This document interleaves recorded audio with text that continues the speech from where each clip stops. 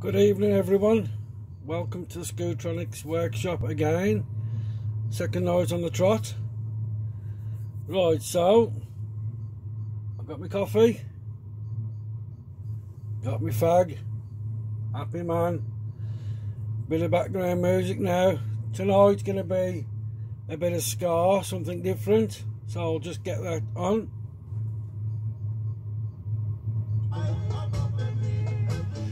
Right, what we're going to talk about tonight.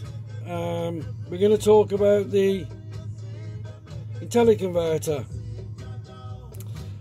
I've probably sold about 200 of these units now. I've just made a batch up. I've got about 10 in stock, a couple of them I've spoke for. Um, they're quite difficult to make, that's why I don't make many of them. Um, there's quite a lot of electronics packed inside that box. And what is the IntelliConverter? The main reason why it was developed was because of the SIP speedos resetting. Uh, with certain types of stators, you only get a, a low voltage on tick over, and that caused the SIP to keep resetting. So that's a bit annoying when you're ticking over and the SIP keeps resetting. So this box will cure that problem. Um, it's got a 12 volt DC output. It's actually higher than 12 volts. It's about 13 and a half volts it is. 13.8 volts. So you've got the, the 12 volt DC output to run the SIP or you could run a rev counter, you know, a DC EGT gauge, cylinder temperature gauge. Basically, you can pull maximum about 15 watts from that. I'd recommend no more because you'll just drag it down. And we also have a twin USB port, which is fully waterproof. So there's the US, twin USB port. Um, what I'd recommend now, if you are running the SIP Speedo, I would only recommend you ever plug one USB device in it. Because these new versions, the old version, the difference is, on the old version, the black output wire, you couldn't connect that to chassis or ground. Basically, you couldn't share the same connection as this black input wire. That was due to the circuitry, but the older version was a bit more powerful. But now I've had to do it different, whereas you can use the earth chassis on the black output, it's a bit less powerful, only by about 5 watts. Um, and the reason why I've had to change is because people wanted to use the, um, the SIP fuel sensor with the IntelliConverter and that wasn't possible with the old one. Because the the fuel sensor would use the chassis as reference which what it would do it would short out part of the input to this box and then eventually burn it out. So I had to redesign it but the trade-off is it's a bit less powerful Anyway, I've got this set up ready to do a full functional test on it because everything I make gets tested before it, come, it goes out. And people always ask me how to connect these up, and they are the most simplest things in the world to to install. If you can put a bulb in, you can put one of these in. Basically, on the input, you've got two thicker wires, which is a black wire and the yellow wire. Let me tighten this up top. So the black one basically goes to a chassis. And what you can do is you can connect one of these type of connectors onto that there. And then you could screw that one on where, where you mount it to your scooter. As long as you've got a good metal contact to chassis, you can mount that to that screw wherever you decide to mount the IntelliConverter. Now, this is the input wire. and this goes to the AC source. So again, you can pick up the AC source from various places. You can pick it up from the output of the regulator. You can pick it up from the brake light switch.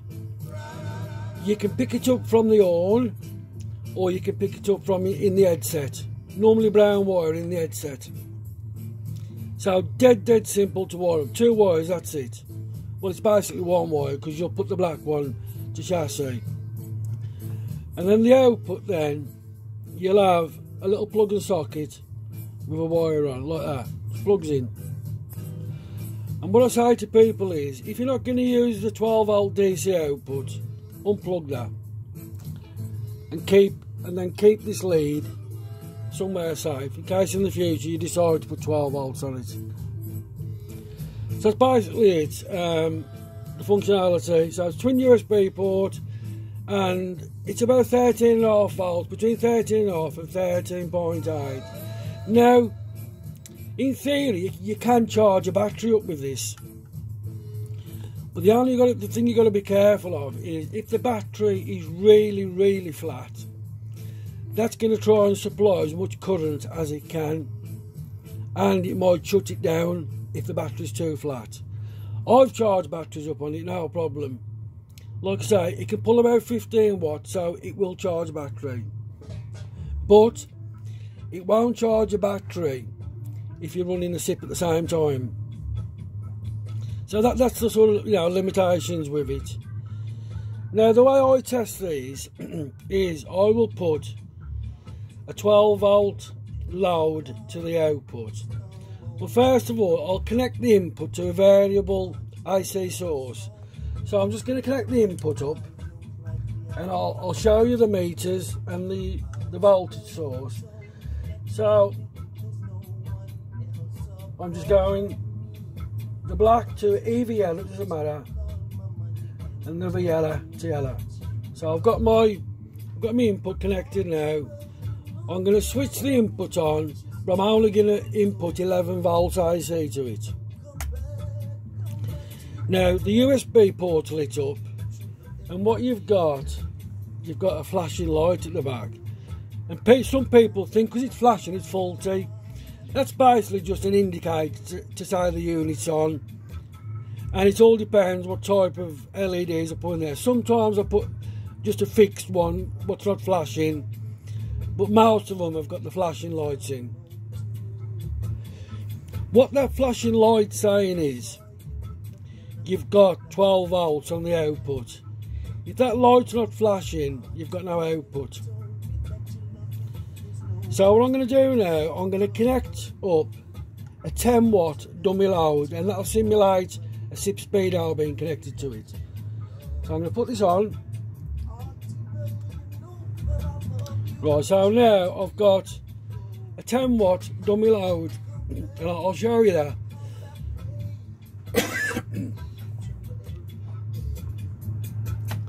there's the bulb, it's 10 watts, and there's the voltmeter. Now that's the output from the IntelliConverter with the 10 watt bulb connected to it. There's my variable input source there, and it's set at 11 volts.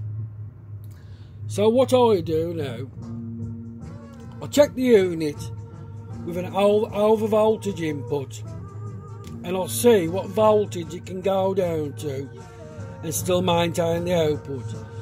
So my first test is I'm going to switch it up now to over volts which is on there which is 13 volts. You probably can't see it right at the bottom. We're still getting 13.67 volts out and the bulb's still on. Then what I'll do, I'll gradually go down on the input voltage to see when I'll start losing power from the output. What I'll do, I'll take this down, I'll take the output down, and then I'll, I'll show you the input voltage source to what level it's at. So I'm at 12 volts now, I'm at 11, I'm at 10, still maintaining a good output. I'm at 9 volts now. If you look at the voltage source, I've got 9 volts going in, but I've still got the bulb on and still got 12.6 volts. So it, it's still maintaining the output. What I'm going to do now I'm going to go down to 8 volts which you would never get on a scooter. Minimum tick over is 9 volts. So I'm down at 8 volts now show you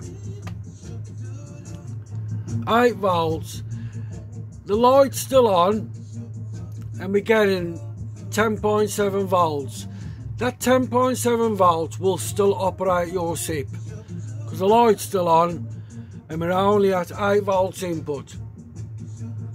Right, what I'm going to do now, I'm going to put the volts back up to 12 volts. Right, so we're on 12 volts now and we're back up on the voltage now, 13.69, nice bright light.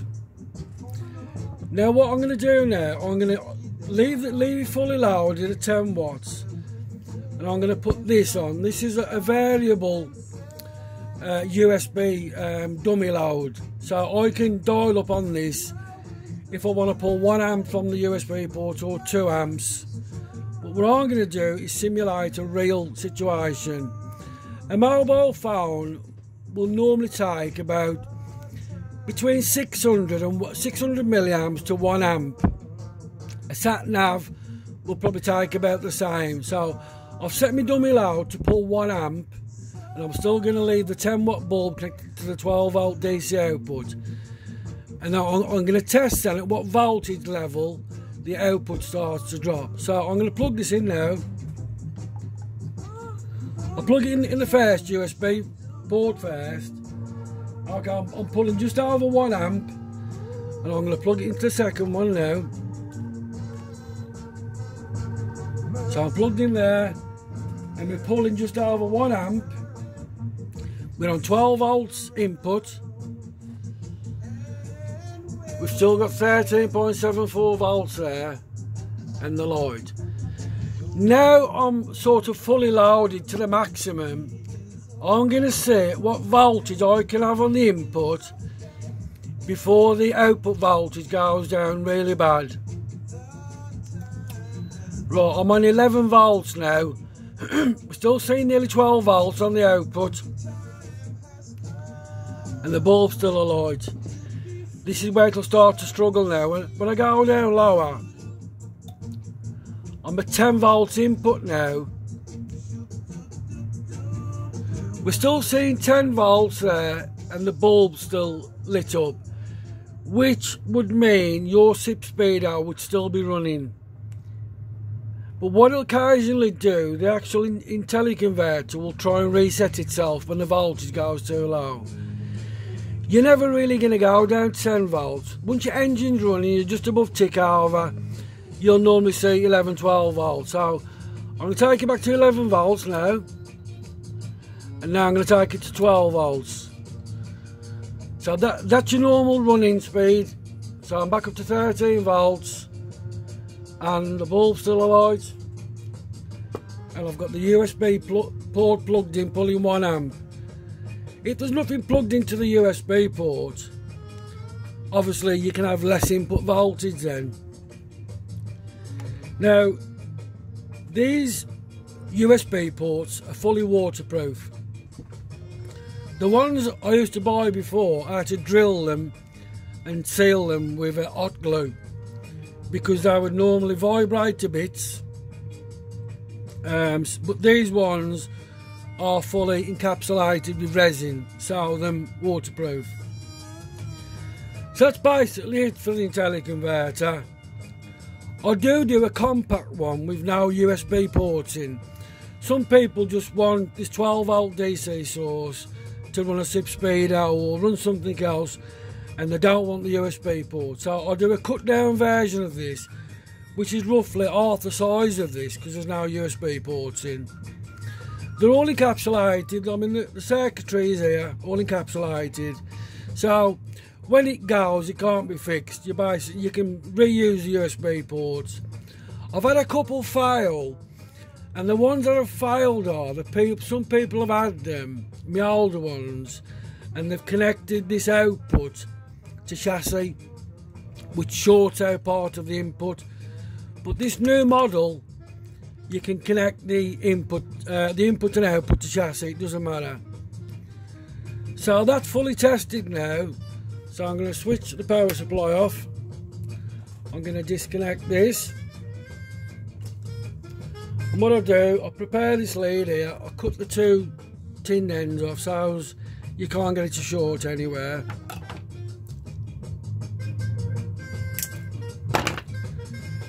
And I put it back in there and then it gets the famous smiley's face put on. What the, if you've got any of my items with a smiley face on that means it's been tested. So that'll go onto there. And what I've started doing now I've started putting serial numbers on these so that I can keep track as and when they're made. So every one now will come with a silver um, Scootronic serial number on now, like I say, I've got 10 in stock now. A couple of them have been spoken for. Um, these are £45 plus postage.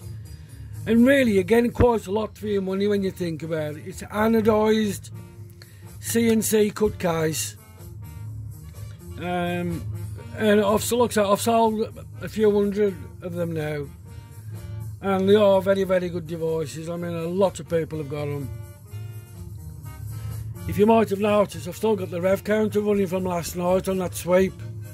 I normally, when I test something, what I, what I have new is I'll leave it on for 24 hours just to give it a good um, soak test. So the rev counter's still happily plugging away.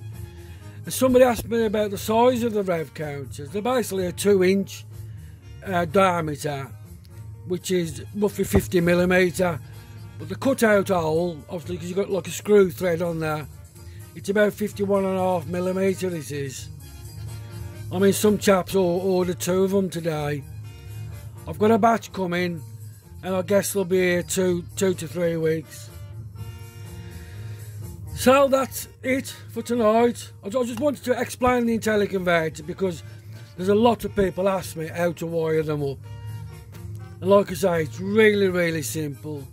If you can put a light bulb in, you can wire one of these up. But basically, these two wires can be put either, either way around, it doesn't matter, because it, it, it's an AC input. But, to save confusing people, I used to put two yellow wires on originally. And then people would say to me, well, which yellow wire goes where? I say you can put either yellow to ground and another one to your AC source. So to avoid confusion, I put one black wire on and one yellow. And it does come with a wiring diagram. So that's it for tonight. Like I say, we've got some future videos coming up. We're going to go into detail about voltage regulators.